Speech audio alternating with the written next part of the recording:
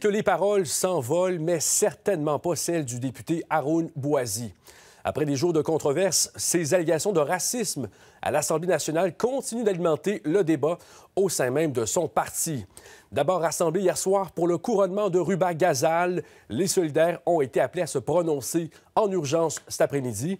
Et Marc-Antoine, ils ont donc appuyé Haroun Boisy, mais pas sur toute la ligne. Oui, exactement, Adi. C'est ce qu'on en comprend parce que la conférence de presse avec les deux co-porte-parole, Gabriel Nadeau-Dubois et Ruba Gazal, vient tout juste de se terminer, ce qui a mais fait un terme également à ce concret virtuel euh, de la formation politique des solidaires. Ce qu'on en comprend parce qu'on a actuellement le document de la motion qui a été adoptée. Ce qu'on sait de cette motion, c'est qu'elle a, a, été déposée euh, aujourd'hui par la direction du parti. Gabriel Nadeau-Dubois et Ruba Gazal nous disaient y avoir contribué. On sait que cette motion a été adoptée avec une très grande majorité euh, des militants membres qui étaient présents lors de ce congrès. On ne connaît pas les pourcentages pour le moment. Et dans le contenu de cette motion, ils prennent leur distance face aux propos d'Arun Boisy en affirmant, entre autres, clairement que Québec solidaire ne soutient pas et n'a jamais soutenu que l'Assemblée nationale et ses membres sont racistes, qu'il ne s'agit pas de la position du parti. D'ailleurs, Gabriel Nadeau-Dubois a été euh, clair.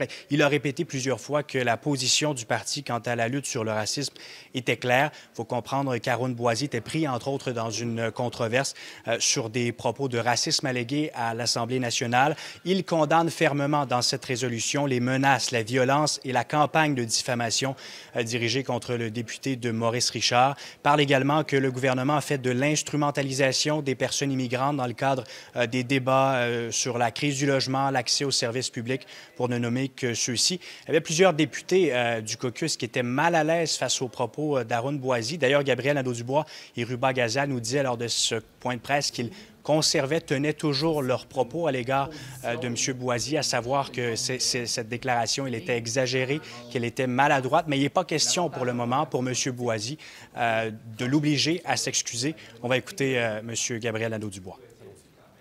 Est-ce que M. Boisy va devoir s'excuser? C'est pas ce que la motion stipule, mais le positionnement sur le fond est clair. On est résolument engagé dans une lutte pour un Québec qui laisse personne derrière, un Québec d'égalité pour tout le monde. Euh, et ça, ça n'implique, ça n'a jamais impliqué, et ça n'implique pas, en aucun cas, de désigner l'Assemblée nationale ou ses membres comme racistes. Je pense que ça clarifie les choses. Je pense que ça clôt euh, ce chapitre-là. Et puis j'espère que nos adversaires qui se sont euh, amusés beaucoup dans les derniers jours à nous poser ces questions-là ont maintenant leur réponse. Il faut comprendre, Adi, qu'on n'a pas eu accès à ces discussions parce que le Comité de coordination nationale de Québec solidaire, à la demande des membres, me dit-on, euh, a ordonné un huis clos médiatique tout juste avant le début de ce débat d'urgence. Ce fait mhm. qu'on n'a pas pu avoir accès aux différentes conversations.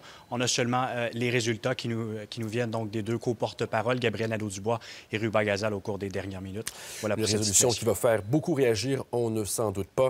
Merci beaucoup, Marc-Antoine. Au revoir.